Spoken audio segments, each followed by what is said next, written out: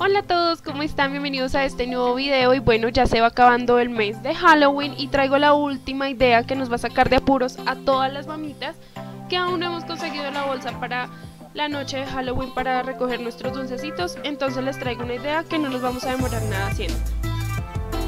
Los materiales ya todas las tenemos en casa o si no, podemos salir a comprarlos y son súper baratitos y es foamy morado, café, naranja y negro, pegante, tijeras, un lápiz y un rectángulo de papel C. Luego vamos a ir al closet y vamos a buscar esta bolsita, una de estas bolsitas de papel que nos dan en los almacenes y no nos cuesta un centavo. Entonces ahora sí vamos a comenzar.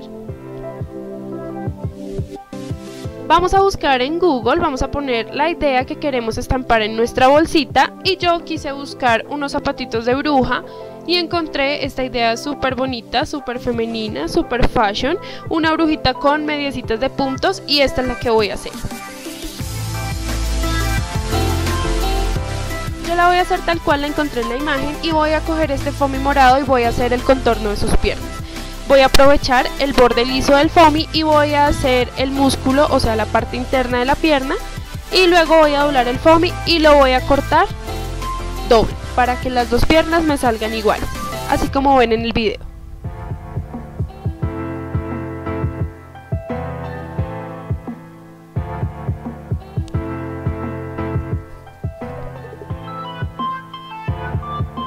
Ya tengo mis dos piernitas, entonces voy a acomodarlas y voy a empezar ahora con la cartulina negra o el foamy negro, si ustedes prefieren en foamy, a hacer los zapatos.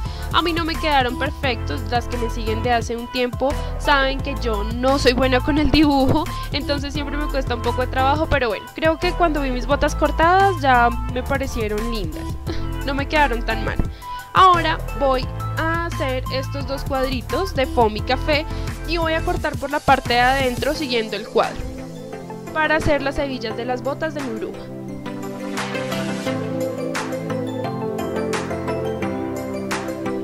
Así es como se ve mi bolsita armada, gordita, y así es como se ve aplastadita y entonces voy a tapar ese logo de la empresa de mi bolsa y voy a, lo voy a tapar con un foamy pues el color que ustedes prefieran. Si ustedes no les gusta el color de su bolsa lo pueden cambiar. A mí mi, bolsa me encantó porque es rosadita y se ve mucho más fashion mi bruja, entonces preferí dejarla rosada. Pero si a ustedes no les gusta pues pueden cambiar el color de la bolsa. Voy a acomodar primero todas las partes de la bruja y luego sí voy a empezar a pegar. Les voy a poner mucho pegamento y voy a empezar a pegar con mucha presión.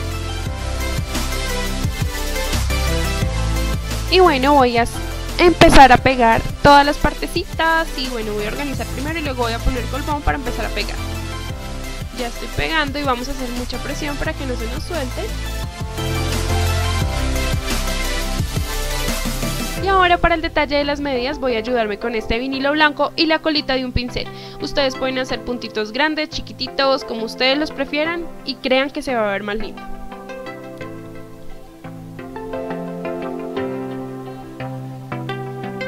Pegué las hebillas de mi bota y esta idea me tiene encantada, realmente es preciosa y así es como se va viendo. Ahora vamos a tomar el rectángulo del papel seda y lo vamos a, le vamos a dar como pequeños pellizquitos, vamos a hacer como un tutú. A mí me quedó muy largo entonces voy a cortarlo un poco ponemos pegamento en la parte de arriba de nuestras piernas, no sé por qué no estaba grabando un poco más arriba, oh, ahí está, la parte más arriba de la bolsa y vamos a pegar el tutú haciendo un poco más de presión. Oh, pobrecita mi bruja, le voy a acomodar este tutú para que no se le vean los tutus, quedó perfecto. Yo espero que esta idea les haya encantado, mis amores. Espero que todos tengan un Halloween maravilloso, que se diviertan un montón. Nos vemos en un próximo videito. Bye.